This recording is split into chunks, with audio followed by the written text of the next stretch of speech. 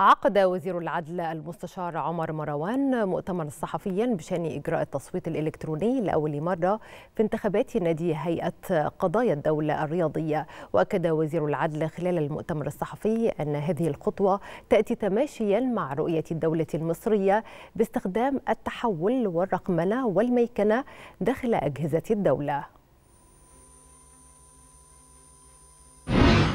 إن شاء الله أي انتخابات أندية تتبع وزارة العدل هنحاول إنها تكون من خلال التقنية لأن دي هتدخلنا في تجربة جيدة جدا إن إحنا نشوف السلبيات والإيجابيات ونقدر نطور عليها ونعمل مشروع يخلي من استخدام التقنية في الانتخابات ده شيء أساسي وأصيل. التصويت الالكتروني حاجة جديدة بالنسبة على المصريين إن هو يصوت وبعد بعد بالظبط ميعاد انتهاء الميعاد المقرر لإعلان النتيجة النتيجة بتعلن فورا خلال ربع ساعة آه ونتيجة دقيقة جدا ما فيش فيها أي شبهة.